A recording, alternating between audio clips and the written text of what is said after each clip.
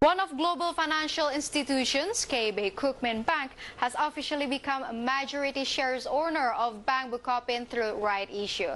Even so, KB Kookmin Bank will not change Bukopin's business target in small medium enterprises segment.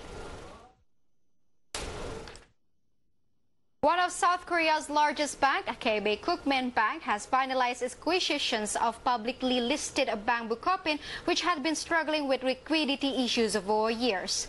Rivan Purwantono, as the president director of Bank Bukopin, stated that KB Kookmin Bank existence will not affect Bukopin's business target, which focus on small medium enterprises segment.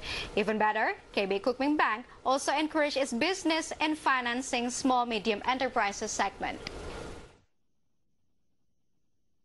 Di sisi lain kita memperhatikan bahwa Kukmin ini mempunyai karakteristik bisnis yang sama. Bukopin saat ini 57% dari portfolio kreditnya adalah UMKM. Dan yang menarik adalah Kukmin yang telah memiliki hampir 24 cabang luar negeri dan dua di Asia yaitu Kamboja, bukan cabang tapi bank di Asia dan di Kamboja adalah Myanmar dan Kamboja Kukmin fokus justru di UMKM. Kekuatan utamanya ketika uh, dilakukan di Korea, bisnisnya lebih banyak di mortgage dan.